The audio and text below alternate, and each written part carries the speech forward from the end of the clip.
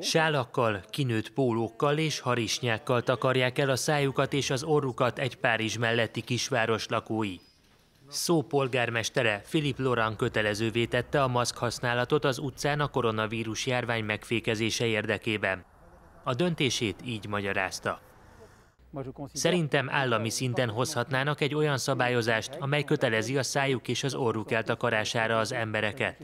Akkor nem bajlódnánk azzal, hogy városonként eltérőek a követelmények. Ha viszont az állam nem lép, akkor nekem polgármesterként és politikusként kötelességem cselekedni.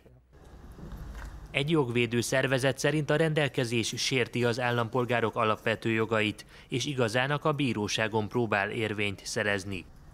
Az új szabályozást sokan támogatják, de betartásához nem áll rendelkezésre elég védőfelszerelés. Szerintem ez egy normális döntés, a gond azzal van, hogy nem tudjuk végrehajtani, mondta egy nő, majd hozzátette, hogy a sálát csak azért tekerte az arca köré, hogy elkerülje a 38 eurós büntetést. Nizza és Cannes hamarosan követi a kisváros példáját. Egyelőre azonban még az sem egyértelmű, hogy erre jogosultak-e, vagy csak a kormány teheti kötelezővé a maszkviselést.